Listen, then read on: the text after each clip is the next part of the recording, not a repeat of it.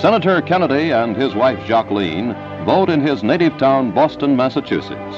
Photographers and reporters are all around them, for this is the man who, in the next 24 hours, may become President of the United States and she First Lady of the land.